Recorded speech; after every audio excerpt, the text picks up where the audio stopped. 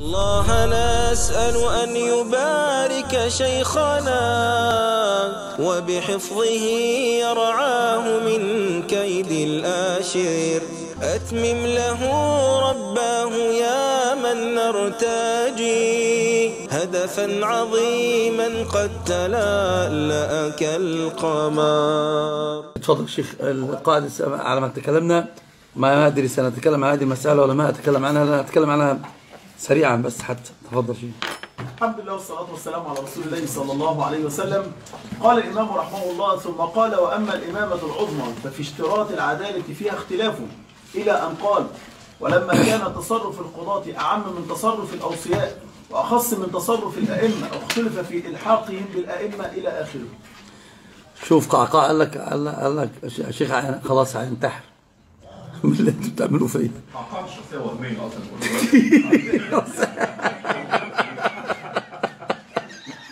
والله والله هذا الرجل ليس ليس بالهين أمير الركب. طيب هذه مسألة مسألة إحنا تكلمنا عن عدالة ولاة الأمور في هذا الباب وشرط العدالة والشروط التي لابد من أن تتوسم في أو يتصف فيها ولي الأمر. وتكلمنا عن هذه المسألة في الأسبوع الماضي وبيناها. حد عنده أي استفسار فيها؟ طيب أنا بنتكلم عن مسألة أخرى وهي مسألة أنه, إنه ممكن ما يكونش ولي أمر يكون أجير يكون على هذا القول. قلنا أن هذا القول لا يعرف من إيش؟ من قول السلف بحال من الأحوال. والشيء الوحيد الذي يمكن أن يكون كان سببا في اختلاط الأمر عند بعض الفضلاء النبلاء الذين يتكلمون في هذه المسألة هو كلام الجويني في غياث الأمم. على مسألة شغور الزمان من إيش؟ من ولي الأمر؟ هو بيقول يعصر جدا. فلو فرضنا جدلا شغر الزمان. شغر الزمان ولي الأمر؟ ما الذي يحدث؟ حق أقول شغور الزمان ولي الأمر؟ هذه لم تعرف عن السلف بحال من الأحوال. والكتاب والسنة يأبى ذلك. لأن في الكتاب الذي هو صالح كل زمان ومكان يقول يا أيها الذين آمنوا أطيعوا الله وأطيعوا الرسول و طيب؟ أيضا. النبي يقول عليكم بالسمع والطاعة وإن تأمر عليكم إيش؟ ها عبد حبشي يعني معناها إيش؟ وش معناها هذه؟ معناها مش هيشغل الزمان أبدا من ولي أمر. حتى ولو العبد الحبشي لم تتوفر فيه شريطة واحدة من شروط أن أن يكون ولي إماما أو ولي الأمر. شريطة واحدة لم تتوفر فيه. ومع ذلك اعتبره ولا ما اعتبره؟ يبقى هنا الاعتبار يدل على أن الزمان لا يمكن أن يخلو من من ولي أمر. إن هو أصلا لما تكلم حتى الجويني في هذا الباب يتكلم عن خلو الزمان ولي الأمر اتصف به صفات العداله والسياسة والعلم وغير ذلك من الصفات التي يتكلمون عنها. فمعنى النبي صلى الله عليه وسلم يقول عبد حبشي. رأسه ده تأكيد أهو الآن في الوصف رأسه كأنه زبيبة. فاسمع واطع يبقى اعتبره إيه النبي؟ اعتبره ولي أمر. وده لا يمكن لا يمكن لأهل الحل والعقد أن يختاروه. يبقى كيف كيف صار ولي الأمر؟ بالتغليب تغلب تغلب تغلب وله أعوان وله شوكة وله قوة في هذا الباب واعتدل الأمر بيديه ولم يكن ثم الدماء ومفاسد. وجب السمع والطاعة له. وجب السمع والطاعة له. وجب الدعاء له. وجب التعضيد له. وجب وجب الجهاد تحت رايته. هذا كله بعقيدة السلف. هذه الديانة. نحن لا نجامل أحدا. ولا لنا مآرب مع أحد ونحن ندعو الله يمينا ويعلم الله بدعائنا أن يبعدنا الله عن البشرية جمعاء ما لنا ما لنا بالقرب من أحد شيء. لكننا نتكلم عن هذا اعتقاد السلف هذه الديانة هذا العلم. من وين أتوا بأنه يخلو الزمان من غير ولي أمر؟ من وين أتوا؟ هات حبيبي. قال قال أحد منهم يقول أن ولي الأمر هو الذي يقوم بكتاب الله. يقودكم مش يقودكم يقودكم بكتاب الله. آه ما هذه شبهة رددناها بل بطرناها بل قطعناها بل موتناها. وكدنا نقتل لما لما قتلناها. هذه شبهة عجيبة جدا. ترد هذه شبهة من وجهين. لما قال النبي صلى الله عليه وسلم يقودكم بكتاب الله وهذا في صحيح مسلم يقودكم بكتاب الله على ولي الأمر. هذا التأصيل العام. التأصيل العام أن يقودكم بكتاب الله جل في علاه. ما قادنا بكتاب الله. يبقى وجب الخروج عليه ولا ما وجب؟ وجب. وجب صح ولا لا؟ أنه لا يكون وليا. طيب ماذا تفعلون في قول النبي صلى الله عليه وسلم تعرفون وتنكرون مما ينكر أنه لا يقود بكتاب الله. مما ينكر أنه لا يقود بكتاب الله. ده ده اسمه إيه؟ التنزل مع مع الخصم مما ينكر أنه لا يقود بكتاب الله. فقال النبي صلى الله عليه وسلم قالوا اذا نخرج عليه بالسيف. أفلا ننبذهم بالسيف؟ ما منكم بفهم الحديث. لأن النبي لما قال يقودهم بكتاب اهو الحمد لله شكرا الله خلاص يا جماعة لو سمحتوا. اذا فنقول هذا مع التنزل. طيب لو قلنا الآن يقودكم بكتاب الله وش فهمه كتاب الله وش في كتاب الله؟ في الحدود. لا خلينا في الحدود. صح كده؟ هم يرون أن هذه مسألة الحدود إذا ما قاد بكتاب الله. نقول له انتبه انتبه وافهم صحيح. في أمر يسقط وأمر لا يسقط. من كتاب الله إقامة الصلاة. من كتاب الله إيتاء الزكاة. من كتاب الله صوم رمضان. والحج. دي أركان الإسلام؟ كتاب الله ولا مش كتاب الله؟ كتاب من كتاب الله الآداب والأخلاقيات. من كتاب الله الأحكام الشخصية أو الأحوال الشخصية. النكاح صحيح ولا لا؟ هذه كتاب الله ولا مش كتاب الله؟ طيب يبقى إذا نحن نقول هنا يقود يقودكم بكتاب الله الشريطة في هذا الباب. عندما يأتي يقول أصل أصل التشريع الذي أخذ به هو كتاب الله. ويأتي على بعض الحدود يقول ويعتريني ما يعتريني ما أستطيع أن أفعل ذلك. هو حسابه عند ربي لما يقول بذلك. فاهمني؟ لكن أنا نقول له لابد من بحذافير كتاب الله ان أنك تقوم به. ورد أن كثير من الخلفاء لم يفعلوا ذلك. لكن هو المشكلة عند الخوارج قالوا بالتبديل. تبديل بتبديل أحكام الله جل وعلا. وهذا خطأ بين. في هذا الباب لأن قلت أصلا من كتاب الله الصلاة الصوم الحج. هذا من كتاب الله؟ في هذا الباب. فنقول إذا يقودكم بكتاب الله جل ما في كتاب الله تحكيم دين الإسلام وأركان الإسلام لو ممكنة. هذا قادهم بكتاب الله ولا مش بكتاب الله؟ بكتاب الله. يبقى هو هذا. يبقى لا تطرحوا طرحا تاما في هذا الباب على أن تقول لي يبقى إذا ما يكون ولي أمر. ويخلو الزمان ولي أمر.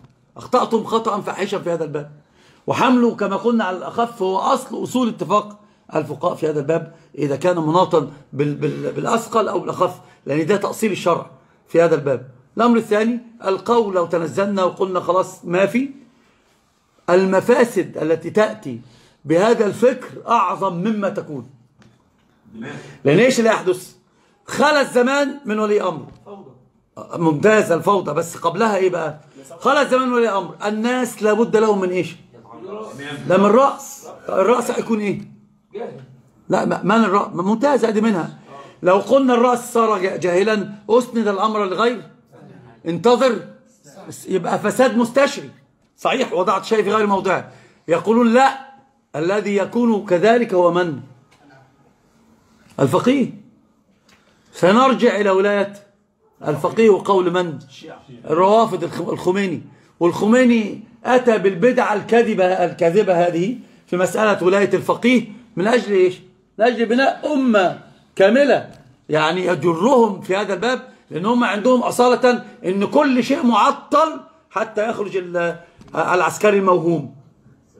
صاحب السرداب. اللي عنده SMS دلوقتي؟ في السرداب.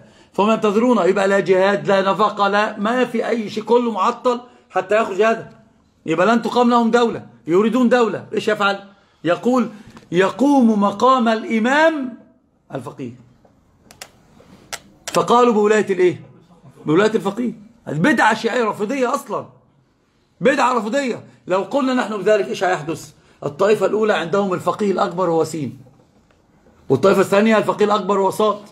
والطائفة الثالثة الفقيه الأكبر هو مين نون وعين. وكل واحد ادي إحنا رأينا ذلك عيانا الله جل وعلا بين لنا ذلك. بتعمل ده. بين لنا ذلك. كل واحد معاه في العشة كتاكيت يخشى على الكتاكيت من الذرة أن تنقطع. رأيتم ذلك عيانا أم لم تروا ذلك؟ منوفية. أنت, أنت بؤرة مصغرة. رأيت ذلك عيانا ولا ما رأيت؟ أنا هل أدور عليكم جميعا؟ لتعلموا أن كل واحد معاه كتاكيت يحارب على الكتاكيت اللي موجودة؟ وما تسمع لفلان وليس فلان وتذهب لفلان بهذا بهذه الطريقة. ليش؟ انتهى؟ الأصل عندكم. صح كده؟ ما أنتوا أنتوا منبع الخير. النور كله بيشع من عندكم. في هذا الباب. فيبقى اذا هذه مفسدة أعظم مما تكون. والأمر الثاني ستكون المغالبة على غير شرع الله جل في علاه. ويكون الهوى هو المتحكم.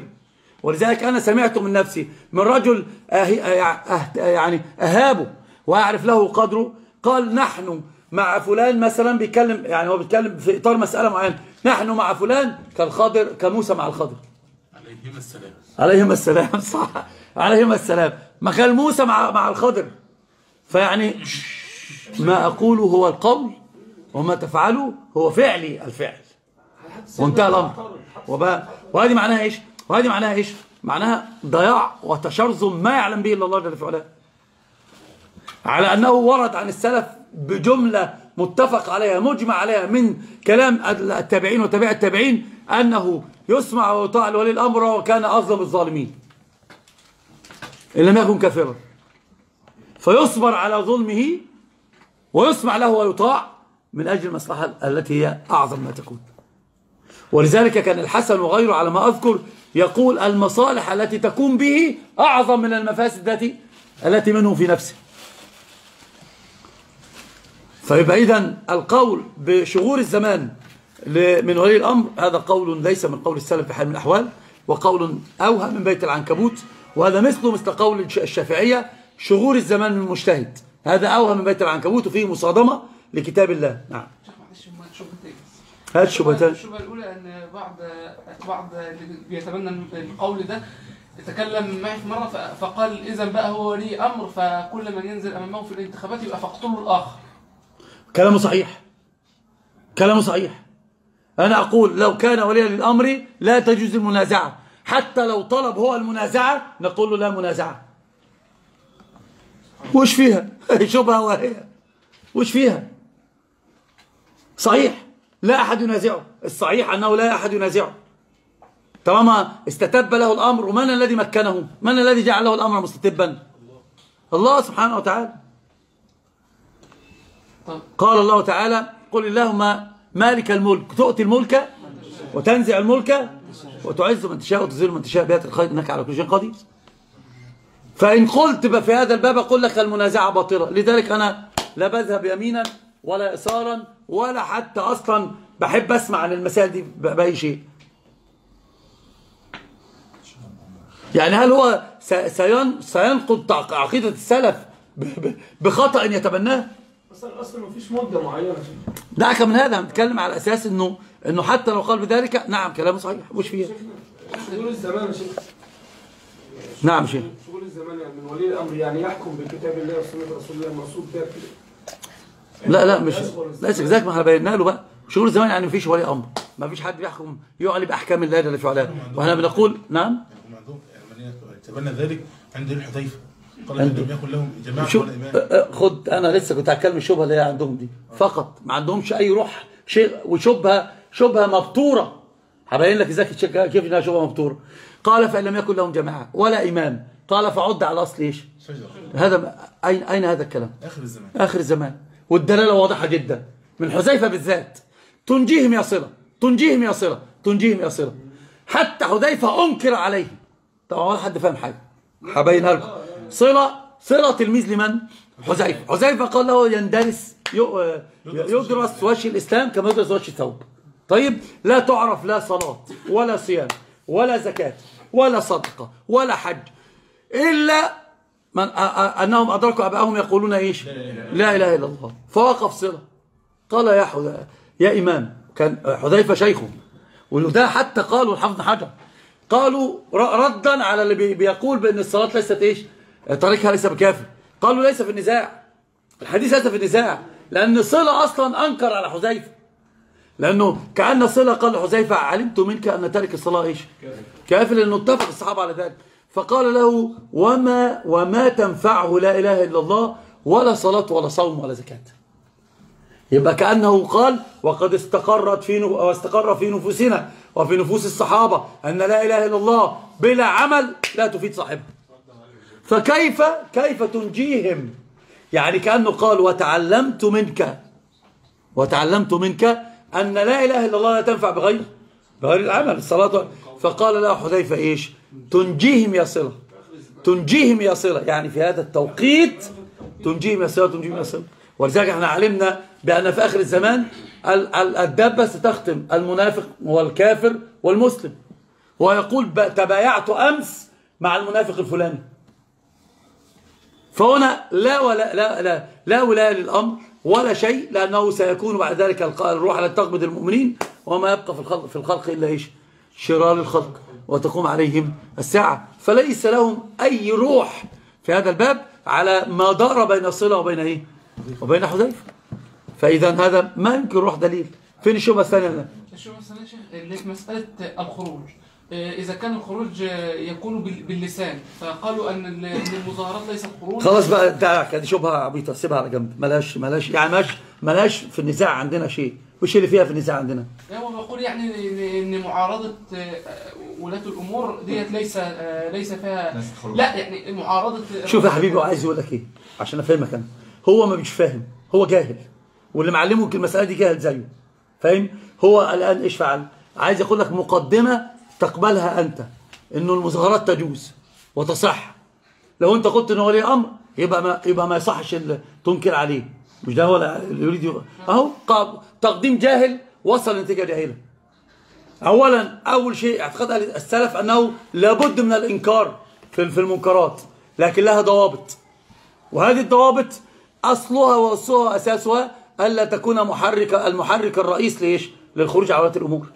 لأن الم- المنع المنع الأصيل حرمة الخروج على ولاة الأمور. لأن الخروج ما تستنى يا حبيبي ما نكمل بس الله يهديك. طب ما خلاص اقف لغاية ما اخلصها أنا. لأن أصل الخروج على الأمور لا يجوز بحال من الأحوال. لعموم قول عبادة لما قال عبادة وألا ننازع الأمر هاتوا اللي بعده. إلا أن تروا كفرا يبقى لا يمكن أن تنازع إلا في حالة واحدة ألا وهي؟ طب أنت بقى تقول لي لا أنازع يعني لا أنكر؟ هل أنا يفهم من كلامي؟ لا تنازع لا تنكر؟ لا.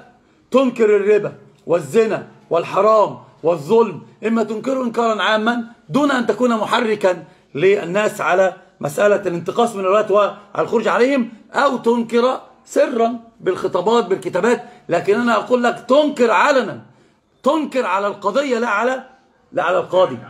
حتى لا تأتي بمفسدة عظيمة فانتهى الأمر. يعني هو يعني بالله عليك تشوف الغباء المستحكم. ده هو بيناقض نفسه. لما يقول لك ذلك كان أنت أصالة عمال تقول بتنكر على طائفة ان هم بيخرجوا مظاهرات وعمال تنكر عليهم ليل نهار تيجي عايز تح- تحج الثاني انك تقول له انت كده بتبطل المظاهرات امال انت بتعمل إيه؟ ما انت بتنكرها أنتوا فاهمين؟ انت فاهم؟ يا عم ده عبيط أنا بقول لك عبيط مش ما بيعرفش حاجة أصلا هو مش فاهم يعني هقول إيه اسكت بقى يا شيخنا المشكلة إيه؟ يا شيخ اسكت هو أصلا أي حد يكلمه مخالفه يا سروري يا حروري يا مرجئ يا حضرتك لما قلت كمان ده ممكن له ما الذي مكن له؟ قال لك الله قلت بس الشيء كده جبري شيخ أصلا هؤلاء القوم لم يستذوقوا علما ولم يعرفوا طريقا له. هؤلاء القوم قراء. كل واحد عنده بعض الثقافة قارئها فواقف بيتكلم بالقراءة التي قرأها فقط وعنده قناعات ماشي بيها مع جاهل رباه. يعني واحد أصلا ماسك كان هو ماسك شباب صغير جدا بيقول لك لازم من اسكندرية لأسوان دماغ واحدة.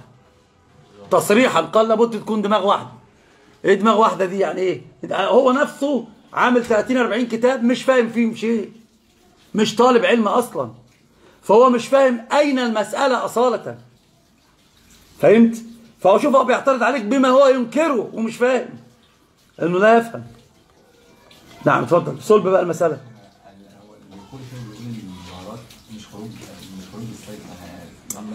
خلصت يعني هي دي اللي صلب الموضوع اللي عندك؟ هي دي؟ إيه اللي فيها هذا يعني؟ الحق أن نقول الخروج يكون بالكلمة ويكون بالسيف ويكون بغيره. لأنه أنت أصلا لو خرجت بالكلمة الكلمة ستجر إيش؟ وهذا الذي حدث. والوسائل لها أحكام المقاصد فالمسألة كلها بتشوف دائرة النفع الذي يفعل هذا دين. دين واللي يحرك فيه قال الله قال الرسول. من قال بقال الله قال الرسول سمعنا وأطعنا. ومن جرنا بالشرع إيش؟ من جررنا فاهمني؟ المسألة مش مسألة أهواء وطوائف وهذا الكلام. فأنت لو لو عنده شبهة فيها علم نقول له بالعلم جرأنا. ما عندك تسكت. إذا كان هو الرجل عشان هذه المسألة وقلنا له لا الخروج لا يجوز. مسك الشيخ أيمن والشيخ محمد. اتهمهم اتهام باطل. باطل في لو قال ده ده هو تبع الراجل اللي هو في العصافره اسمه إيه بلاش اسمه أنا عارف اسمه. بقى يا عم أنت اذكى مش اخواتك ده والدتك تسعد وتعمل البلالين دي كلها في في اسكندريه بحالها على الذكاء اللي أنت فيه. طب يعني أعرف. فهو أصلا يقول لك هذا من ذاك طب هذا من ذاك مال مال هذا ومال ذاك صح؟ صح. قال ذلك أهو شوف أهو أهو. له ذلك. ليه؟ لأنه جاهل. لأنه جاهل جاهل مركب. قال لي قال لك لو شنودة مسك الحكم قالوا لنا اسمع الله ونطيع بس شفت هذا الكلام. تبرع بينا ورجع والله يا شيخ. لا لحظة. لا لحظة لحظة لحظة. أنا ليا شريط شوف شوف الكذب عشان ما بيفهموش ليا شريط ساعتين كاملين. في النت حرمة ولاية الكافر على المسلمين. في دكتور حديث ناقشني دكتور حديث تقيل يعني علميا. ناقشني وقال لي يوسف فندت له كل الشبهة التي عنده. قال قد أختلف. قلت له المهم إنك نزلت. ينزل أهم حاجة. فأنا أصلا ليا ساعتين في بيان حرمة حرمة علو الكافر على المسلم. ما بيفهموش ما بيفهموش. ها؟ لا طبعا. آخر حاجة لأن إحنا كده سيبنا المسألة. المسألة طب دلوقتي يا شيخ ده أصل من أصول السلف وأصل من أصول العقيدة. طب اللي يخالف فيه فرق. خالف باجتهاد وكان نبيلا قلنا اجتهد فأخطأ. طب وين بينت له الحجة وأصر عليها يعني يعني تقام عليه الحجة. قد يراك قد يراك جاهلا لا تستطيع أن تقيم حجة فلذلك لم يسمع لك. فالعذر موجود له. أما مين اللي بيتكلم يا جماعة؟ مين اللي بيتكلم؟ مفيش حد. يعني الصوت اللي أنا بسمعها دي من منين؟ الجني؟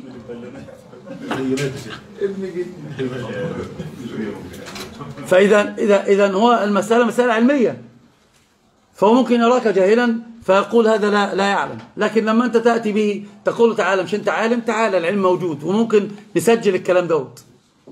لنرى العلم حقا هو الذي يغلب. بس. لكن هو اتهام الناس بالباطل. طالما أنت خالفته في مسألة يتبناها فلا بد أن يلقى لك لق- لقبا. لابد أنا في بداية طلب العلم والله لفيت محافظات من اسكندرية كلها. لانك غبي. سامحني خدها مني واحتمل. أنا سافرت طلب من الحق بس والله. وكل كل محافظات اسكندرية كلها. عايز اعمل زي والله شيخ سافرت لكل المشايخ اللي ممكن يكونوا بي بي بيتكلموا في المسألة دي. فكله بيقول لك إحنا نقيم الحجة و- و- ومن من انطلقوا من هنا في التبديع ومسألة ال- يقولوا. لا ظلم. أنا أنا لا أبدع أحدا لأنه أكيد من قال بهذا القول يكون نبيلا أخطأ واجتهد وعنده بعض الأدلة التي يتمسك بها فهو يحاور ويعني لكن أنا لا أبدع إلا من علمت أنه صاحب بدعة حقا وأنه رأس في البدعة وأنه وأنه يؤصل له. أما إذا وجدت أنه من أهل السنة والجماعة غلبته أو غلبه الجهل في مسألة معينة فوقع في هذا الخطأ أنا أبجله وأخطئ فعله وقوله وأبين الخطأ وأفنده. شيخنا حق جزئية اللي لما ما- هو لا يراك أصلا أهلا لكي تقيم على الحكم ما دي برضه مشكلة كبيرة. آه نعم. صراحة يعني. صراحة يعني.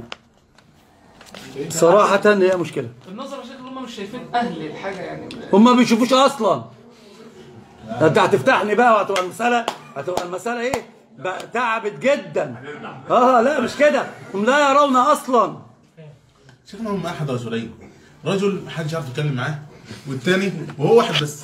والتاني مقلد للي ما يعرفش يتكلم معاه. خلاص لكن شيخنا أقسم بالله لو كله راح للراجل ما حدش يتكلم معاه ما حدش يعرف يعمل حجه مش هيعرفها يا شيخنا. حضرتك أقمتها فاحمد الله على النعمه لكن. غيره ما يعرفش. يعني غيره ما يعرفش يا شيخنا والله. غيره ما يعرفش والله. أنا ما في مسألة لو اتكلمت ما فيها يعرفش. والله ما يعرف. أيوه أنا ما فيش مسألة غير لما اتكلمت فيها. ما حضرتك بتزعلنا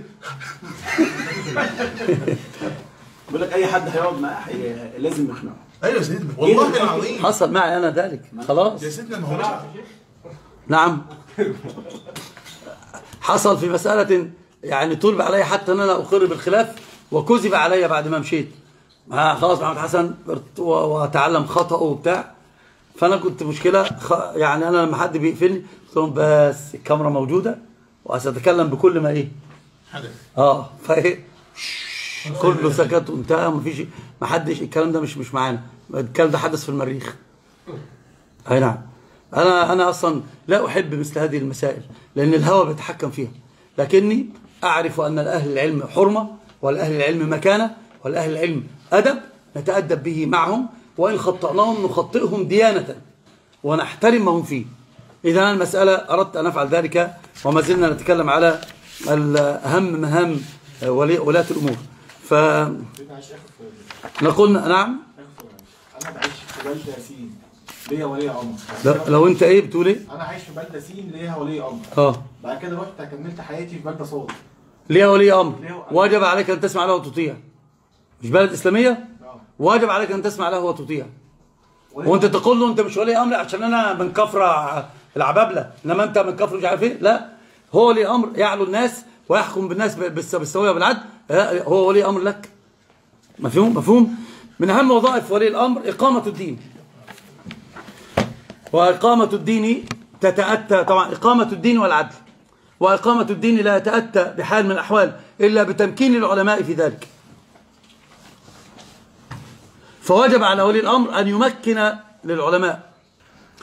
ووجب أيضا توقير العلماء. والعلماء مش ملائكة. ما يقال طب أنا أوقره ليه ما هو عاصي. أوقره ليه ده, ده أنا أرفع منه درجة. وأنا أحسن منه مكانة. ها؟ وعصا آلة آه لا أنا أقصد بتكلم على الشبهة اللي بي- بيقال فيها. فهو وجب توقير أهل العلم. ووجب تمكين أهل العلم. ووجب وحرمة تمكين أهل البدع. يحرم عليه. لأن النبي قال لعن الله من أحدث فيها حدثا.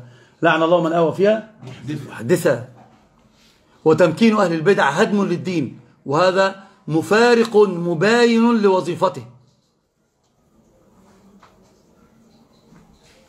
فأعظم وظيفة له إقامة الدين. هذه أعظم وظيفة له. أن يقيم الدين وإقامة الدين لا تتأتى بحال من الأحوال إلا, إلا بتمكين العلماء. وأقول لزاما على ولاة الأمور التفريق بين الدعاة وبين العلماء. هم لا يفعلون ذلك. والعامة لا يفعلون ذلك وهو مقصود. وده اللي إحنا عايشين فيه بقى الآن في هذا الباب. أنت قلت له لا تسمع لفلان. هل أنت بديل؟ خلاص. أنت قلت لا تسمع لأنه, لأنه منفرد لأنه مجنون لأنه خلاص. على ما قلت من الصفات التي هو فيه. وقلت لا تسمع له. أنت بديل؟ عندك بديل؟ ماذا فعلت؟ هدمت دين الله. هدمت دين الله؟ بتصد عن سبيل الله؟ في هذا الباب. هذا الذي نتكلم عنه. في في هذا الباب. فالح... إيه؟ خلاص الواقع يش... إيه؟ الواقع يثبت أنه لا ولا بديل ولا بديل بديل هو يرى أنه صح ما بدين مش بديل. ما أنا أنا أنا أقصده إذا حتى لو رأى أنه بديل رؤيته لا لا لا تصح. ما الشيطان رأى نفسه مظلوم. الشيطان يرى نفسه مظلوم. ها ف... لا ده قال قال له اعوذ قال- قال ايوب بك ألا تكون من إن شر الحطمة. قال له اسكت فإنك من من نخالة إيش؟ أهو شوف هو بذلك لكن هو رد عليه رد قاطع. قال له أما أصحاب محمد ما كان فيهم من النخالة. إنما النخالة في في غيرهم ما فيهم إلا نقاوة. فهنا ال- الأصل إن أنا أقول لك لا تصد عن سبيل الله. فايضا الخلط بين الداعي وبين بين العالم صد عن سبيل الله. لأنك لما تصدر لي واحد داعي مثقف وعمال تحشف الناس وهذا من أمتن خلق الله في هذا العلم وهذا أعلم أهل الأرض وكل هذا الكلام فيه ظلم وتزوير. وفيه تلبيس على الناس وفيه أنك وضعت شيء في غير موضعي. و و وأنت بتحارب الله ورسوله وأنت لا تدري بما تفعل. مفهوم هذا الكلام؟ في هذا الباب فمن أهم وظائف ولي, ولي الأمر أن يمكن لدين الله وتمكين دين الله بإيش؟ بإقامة شرع. الله وهذا لا يتأتى قط إلا إلا بتوطيد إلا بتوطيد أقدام العلماء مع توقير العلماء. وهذا الذي حدث انظر إلى سنين العمر انظر إلى الخلافة الراشدة على مر السنين والدهور واعلم واعلم كيف رفعت الأمة الإسلامية كانت في أي زمان. وانظر لهذا الزمان ما يميزه. لن تجد أبدا رفعة للأمة الإسلامية ومقدمة على على على جميع الأمم إلا بهذا بهذا التوطين. إلا ما صح به أولها كما قال مالك والنبي قال ذلك. قال قال بدأ الإسلام وسيعود فطوبى للغرباء. فالتمكين أيضا لن يكون إلا إلا لأمثال هؤلاء في هذا الباب. إذا ولاة الأمور أيضا من من الواجبات عليهم إقامة الدين وهذا لا يتأتى إلا بتمكين العلماء وتمكين أهل العلم. وطبعا العلم الدنيوي أيضا لتمكين الأمة من اقتصادها وغير ذلك لابد يكون أيضا تقديم العلماء في هذا الباب. من باب ضع الشيء فيه موضعه وأن من علامات الساعة في شيء؟ من علامات الساعة؟ ماشي. من علامات الساعة أن يسند الأمر للغير؟ قال إذا وسد الأمر لغير أهلي فانتظر فانتظر الساعة. طيب. أيضا من آه، آه، أهم وظائف ولاة الأمور إقامة العدل بين الناس. أمة كافرة إن عدلت تؤسس وتتنامى. والأمة المسلمة إن ظلمت وإن كانت موحدة لا تمكن. نعم. إقامة العدل من أهم وظائف ولاة الأمور أيضا. إقامة العدل بين الناس. نفي الظلم وإقامة العدل هذه من أهم وظائف ولاة ولاة الأمور. وهذه تتأتى, تتأتى في الحكم بالسوية في القضية وإنزال الناس منزلهم وإعطاء كل ذي حق حقه. وإن جني على حق أحد يرد. بعد 15 سنة حضرتك كنت بتقول نفس الكلام ده في المسجد اللي تحت من 15 سنة. بالظبط بارك الله في وقتك وفي عملك. الله يحفظك أنت بركة يا أستاذنا. حقا. ونسأل الله أن يجعل ذلك موازين حسنات. كنت ساعتها عصبي قوي ونرفوز بس دلوقتي أنا هادي أقول الحمد لله. اتعلمت منك أنا خلاص ما أنت طيرت كل العصبية اللي عندي. رضي الله عنك. ولشيخنا همة علت الثريا فنالت من فنون الدين ريا. ولشيخنا همة علت الثريا فنالت من فنون الدين ريا. فذا فقه كسقي الماء كانا وتلك عقيدة السلف النقيا. نقيا. وتلك عقيدة السلف نقيا. فأخلص لي ربي وبارك على شيخ نبيل الخلق والضاح المحيا.